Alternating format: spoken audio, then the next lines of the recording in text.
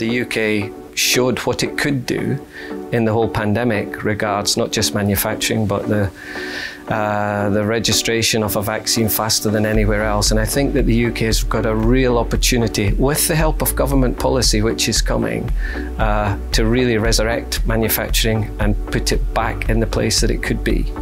The UK strengths in biomanufacturing are, are, the, are the, process design elements, process development.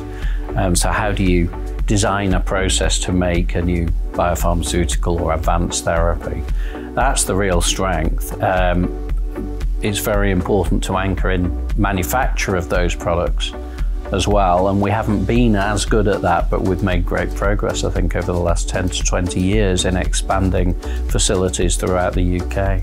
There is momentum, there's certainly been momentum. We need to be very innovative, uh, so keep um, sort of investing in cutting edge technologies and looking at the next generation of products.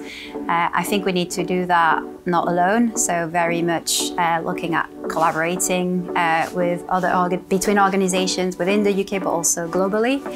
Um, and I suppose the other key thing is uh, we need to attract top talents. We know that the ecosystem has to succeed and we have to join up from Blue Skies academic research all the way through to regulatory and to policy and to tax credits that coming together in an ecosystem because we all know each other means we can be a really powerful voice for getting new innovative things done.